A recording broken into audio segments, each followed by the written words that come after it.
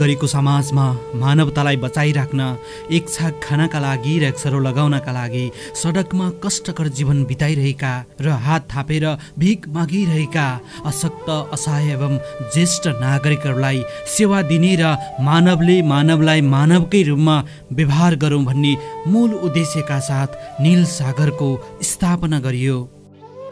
निल सागर सेवा आश्रम खोल्नुको उद्देश्य चाहिँ खास गरेर मेरो एउटा भाइ विदुर खनालको बाइक दुर्घटनामा परेर निधन भइसकेपछि म एकदमै मानसिक रूपमा एकदमै विक्षिप्त भएको थिएँ र मेरो भाइको उद्देश्य भनेको चाहिँ अनाथ बालबालिकालाई पढाउने र सहयोग गर्ने थियो।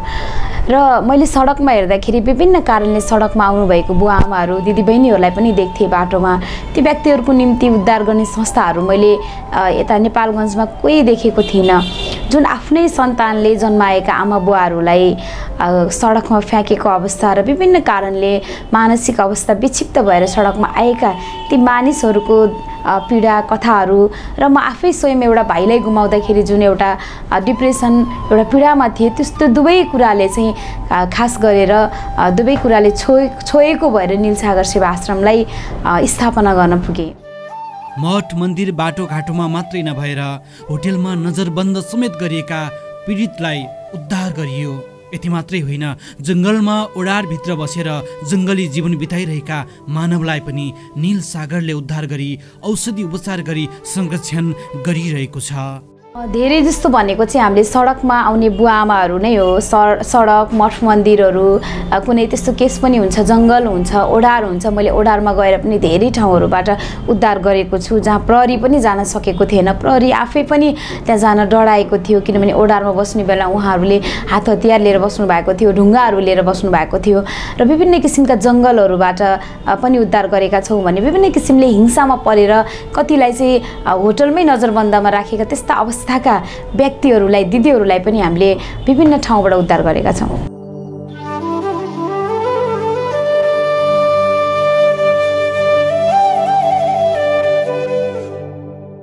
उद्धार गरिसकेपछि पहिलो प्राथमिकता भनेको चाहिँ हामीले उहाँहरूको हेल्थ चेकअप गर्छौँ। उहाँहरूलाई मानसिक आवश्यक मानसिक डक्टरलाई देखाउनु पर्ने हो अथवा शारीरिक डक्टरलाई देखाउनु पर्ने हो। पहिला आश्रममा लिएर आइसकेपछि उहाँहरूको सरसफाइ हुन्छ पहिलो काम।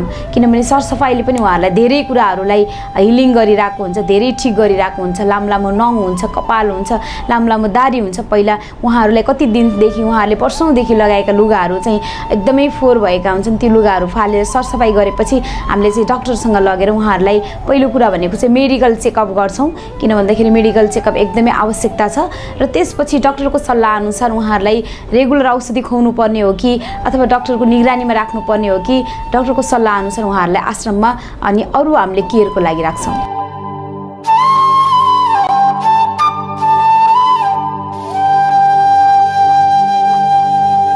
निलसागर सेवा आश्रमको मुख्य उद्देश्य भनेको चाहिँ पहिलो भनेको चाहिँ सडकबाट लिएर आउने हो भने दोस्रो उद्देश्य भनेको परिवारको खोजी गर्ने हो। किनभने मानवहरू त्यसरी सडकमा बस्नु हुँदैन सडकमा मानवहरू सुत्नको निम्ति त्यो सडकहरू बनाएको होइन र ती मानवहरूले हिजोको दिनमा आफ्ना सन्तानहरू जन्माए आफन्तहरू बनाए कोही न कोही बनाए रगतको नाताहरू पनि बनाए कति सङ्घर्ष दुःखहरू गऱ्यो होला ती मान्छेहरू आज किन सडकमा आए?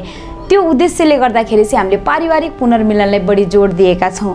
र अहिले सुरुदेखि अहिलेसम्म हामीले सत्र सयजनालाई उद्धार गरिसकेका छौँ भने पाँच सय चालिसजनालाई हामीले संरक्षण गरेका छौँ भने अरू सबैजनालाई हामीले पुनस्थापन गरेका छौँ। त्यसमा पचासजनाले चाहिँ आत्मनिर्भर भएर आफ्नो स्वरोजगारको ट्रेनिङहरू प्राप्त गरेर समाजमा पुनस्थापन हुनुभएको छ भने दस पन्ध्रजनालाई आश्रममै सेवक सेविकाको रूपमा हामीले व्यवस्थापन पनि गरेका छौँ।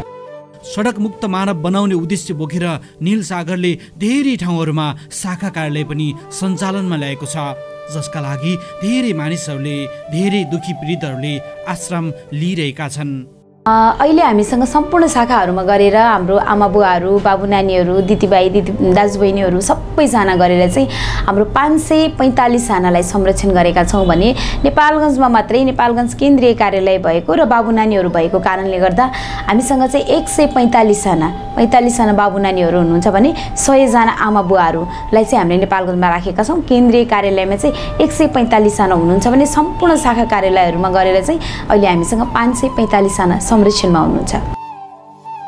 निल सागरले धेरै दिदीबहिनीहरूको उद्धार गर्ने क्रममा साना साना बालबालिकाहरूको पनि उद्धार गरेको छ।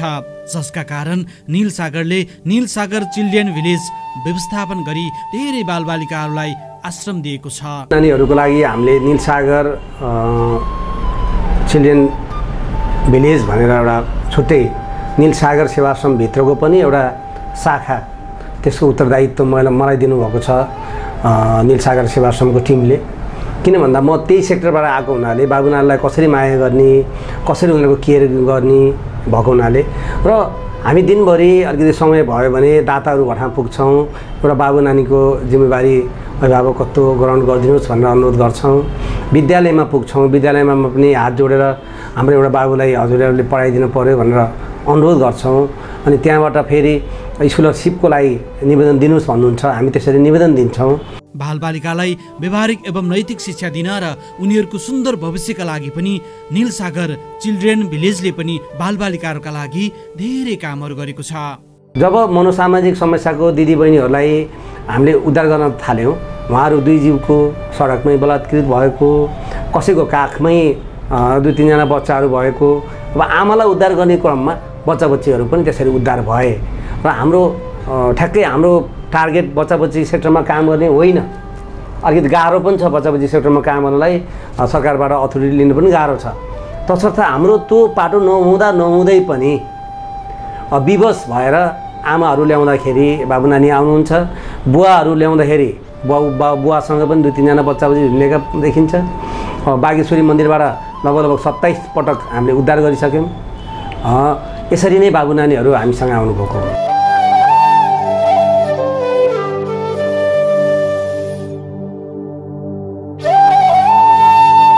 निलसागर सेवाश्रमको अ, प्रमुख संरक्षक डाक्टर योगी विकासानन्द गुरुदेव हुनुहुन्छ। जो हामी सबैको एउटा प्रेरणाको स्रोत पनि हुनुहुन्छ। र विगत अठार वर्षदेखि म पूजनीय गुरुदेवसँग मनोक्रान्ति अभियानमा जुटेको पनि छु। गुरुदेवबाट बाबु नानीहरूलाई हजुर तपाईँ भन्ने योग ध्यान प्राणायामहरू सिकाउने त्यसपछि गएर सुपर लर्निङ भन्ने पढ्ने तरिकालाई कसरी एउटा मेमोराइज बनाउने सुपर बनाउने त्यो तरिका हामीले गुरुदेवबाट जे सिकेका छौँ त्यही संस्कार हामीले बाबु नानीहरूलाई दिएका छौँ। रिसलाई कसरी कन्ट्रोल गर्ने त्यसको लागि योग ध्यान प्राणायामहरू गर्ने। बाहिरी संसारमा त खालि कुदाइ कुदाइ मात्रै हुन्छ। आफ्नो अन्तर्यात्रामा कसरी कुद्ने अनि योग प्राणायामहरूले के फाइदा गर्छ? र सँगसँगै हाम्रा बाबु नानीहरूलाई हेर्नुभयो भने पुरा मल्टी ट्यालेन्टेड हुनुहुन्छ। किनकि हाम्रो उद्देश्य भनेकै यी बाबु नानीहरूलाई एउटा यो देशको असल नागरिक उत्कृष्ट नागरिक श्रवण कुमारहरू बनाउने हो संस्कार पूर्ण दिने हो। यही संस्कार दिन नसकेर हाम्रा बुवा आमाहरू सडकमा आइपुग्नु भएको भन्ने हामीलाई थाहा छ। निलसागरले गरेका कार्यको मूल्याङ्कन गर्न निलसागरसँग सहकार्य गर्न र आम नागरिकहरूले निलसागरलाई सहयोग गर्न सक्नुहुनेछ। अहिले पोखरा सहित गरेर हाम्रो दसौँ शाखा भयो र धेरै ठाउँमा हामीले आश्रमै स्थापना गरेका छौँ भने केही ठाउँमा आश्रम स्थापना गर्न नसकेको ठाउँमा चाहिँ सम्पर्क कार्यालय गरेका छौँ। नेपालगञ्जमा हाम्रो बाबु नानी र आमाहरूको घर छ भने कोलपुरमा बुवाहरू राखेका छौँ। बर्दियामा दुई ठाउँमा चाहिँ शाखाहरू विस्तार गरेका छौँ। दाङमा गरेका छौँ पाल्पामा गरेका छौँ पोखरामा भयो काठमाडौँमा पनि सेवालाई विस्तार गरेका छौँ। दैलेख सुर्खेतमा चाहिँ सम्पर्क कार्यालय बनाएर हामीले त्यही त्यताबाट उद्धार गरेर दाङको सेल्टरमा राख्ने गरेका छौँ र आवश्यक परेको खण्डमा हामीले त्यहाँ पनि आश्रमलाई विस्तार गर्ने योजनामा छौँ।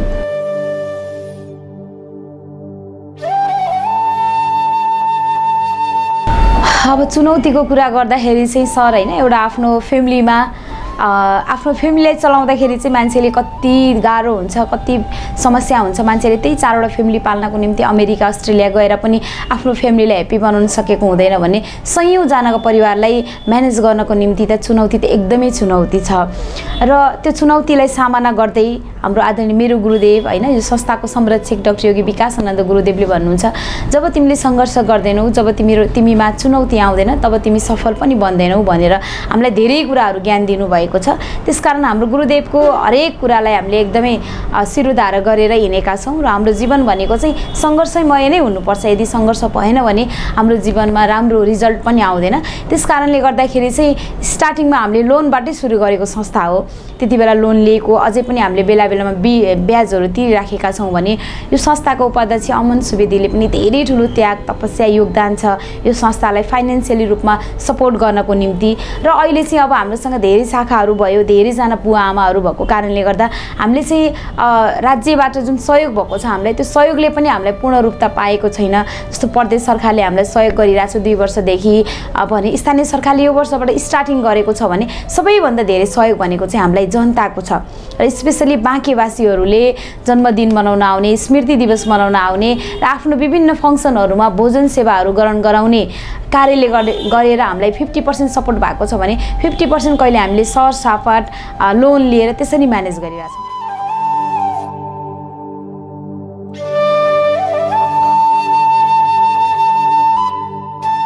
जस्तो निलसागरसँग जोडिन चाहने व्यक्तिहरूलाई चाहिँ जस्तो नजिकै हुनुहुन्छ भने निलसागर शिव आश्रममा एकचोटि भिजिट गर्न आउनुहोस् आफ्नो बर्थडे मनाउन आउनुहोस् आफ्नो चाहिँ एनिभर्सरी मनाउन आउ आउनुहोस् आफ्नो बाबु नानीले राम्रो रिजल्ट लिएर आएका छन् भने ती असहाय अनाथ दुःखी जसलाई हाम्रो आवश्यकता छ ती व्यक्तिहरूलाई भोजन सेवा गराउन गराउन आउनुहोस्। यदि तपाईँहरू निलसागरको अ, नजिक हुनुहुन्न तपाईँहरू बाहिर हुनुहुन्छ भने तपाईँहरूले निलसागर सेवा आश्रमको ब्याङ्क एकाउन्ट नम्बर हाम्रो राष्ट्रिय वाणिज्य ब्याङ्कमा निलसागर सेवा आश्रमको खाता नम्बर छ।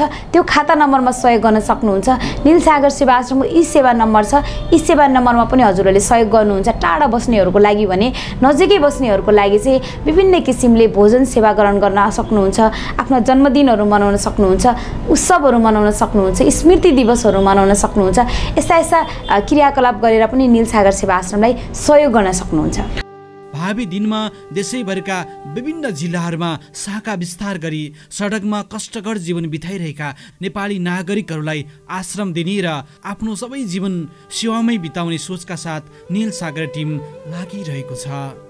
पहिला नेपालैभरिमा जुन जुन ठाउँहरूमा निलसागर सेवा आश्रमको आवश्यकता पर्छ जुन ठाउँ ठाउँमा सडकमा आमा बुवाहरू भेटिनुहुन्छ जुन ठाउँमा सडकमा मनोसामाजिक समस्याका व्यक्तिहरू भेटिनुहुन्छ त्यो ठाउँमा हामीले गएर शाखालाई विस्तार गर्ने र नेपालैभरिमा निलसागर सेवा आश्रमको शाखाहरू गठन गरेर नेपालैभरिमा सडकमा बस्नुहुने आमा बुवा दिदीबहिनीहरूलाई संरक्षण गर्ने र आफ्नै बिल्डिङ बनाएर जस्तो नेपालगञ्जमा अहिले हामीले बिल्डिङ बनाइरहेको छौँ दाङमा पनि हाम्रो बिल्डिङको योजना स्टार्टिङ भइरहेको छ भने उहाँहरूलाई एउटा पारिवारिक चाहिँ वातावरणमा आफ्नै घर त्यहाँ एउटा मेडिकल केयर सेन्टरको रूपमा डेभलप गरेर उहाँहरूलाई एकदमै राम्रोसँग जुन समाज र परिवारले उहाँहरूलाई नदिएको कुरा निलसागर सेवा आश्रमले दिने योजना पनि छ हाम्रो।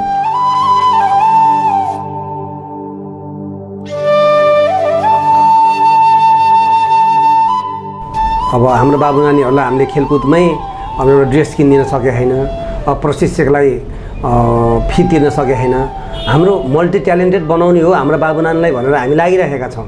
तर सबै ठाउँमा आर्थिक खर्च छ। बिहान उठेदेखि त रङ्गशालामा जानु जानुहुन्छ त्यहाँ पनि खर्च छ। अब खर्च दिन नसकेर प्रशिक्षकलाई अलिक गाह्रो भइरहेछ। कोही मनोकारी दाता हुनुहुन्छ भने त्यसमा पनि सहयोग गर्न सक्नुभयो। ड्रेसमै खर्च छ। ड्रेस हाले हामीले अब ड्रेस हालिराख्न सकेको छैनौँ। त्यसमा सहयोग गर्नु सक्नुहुन्छ। बुवा आमा आउने क्रममा बाबु नानीहरू अझ बढिराख्नु भएको छ। उहाँहरूलाई एउटा पढाइको लागि हामीले खर्च जुटाउन सकिरहेका छैनौँ। यहाँहरूले आएर एकजना मात्रै बाबुलाई अथवा नानीलाई उहाँको केयर गरिदिनु भयो भने उहाँको पढाइ खर्च मात्रै बिहोरिदिनु भयो भने अभिभावक कस्तो यहाँले ग्रहण गरिदिनु भयो भने हाम्रो त बाबु नानीहरूको एउटा सपना हाम्रो पनि सपना पुरा हुन्थ्यो। सँगसँगै हामीले अलिकति इङ्ग्लिसमा प्रखर टिचरहरूलाई त्यहीँ आएर बच्चाहरूलाई इङ्ग्लिसको ज्ञान अबको समयमा इङ्ग्लिस एकदमै आवश्यक छ।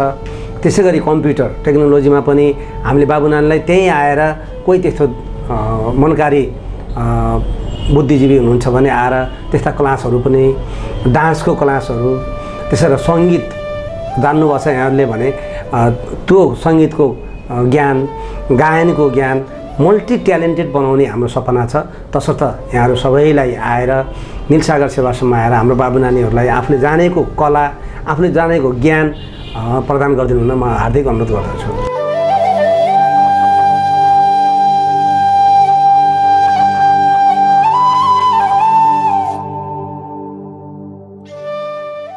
आउनुहोस् मानवले मानवलाई मानवकै रूपमा व्यवहार गरौँ। अशक्त असहाय ज्येष्ठ नागरिक एवं बालबालिकाहरूका लागि सहयोग गरौँ। निल सागरसँग हातेमालो गरौँ। विभिन्न सङ्घ संस्थाहरूले आफ्नो वार्षिक उत्सव मनाएर सहयोग गरिराख्नु भएको छ। निलसागर सेवा आश्रमको आवश्यकतालाई एकदमै महसुस गरेर सेवा गरिराख्नु भएको छ। उहाँ सम्पूर्ण सङ्घ संस्थाहरूलाई म हृदयदेखि एकदमै नमन भन्न चाहन्छु।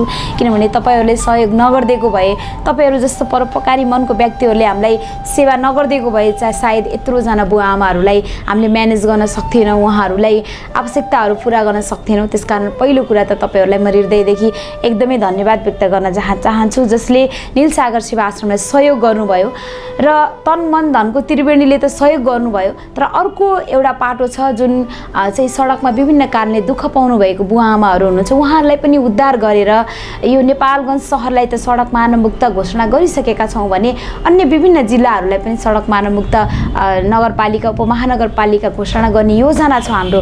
त्यसकारण कुनै पनि मानवहरूले यस्तो चिसोमा अब चिसोको मौसम सुरु हुँदैछ त्यो चिसोमा कठ्याङ्ग्रिएर भोको भोको नाङ्गो नाङ्गो शरीर सडकमा बस्न नदिनको निम्ति पनि आउनु सबैजना मिलेर हातेमालो गरौँ।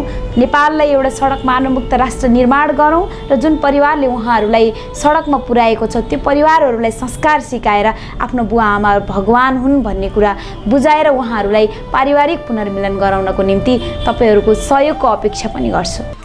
कसैले पनि गर्न नसक्ने र सामान्य मानिसले आँट गर्न नसक्ने काम उहाँले कसरी थाल्नु भएको रहेछ?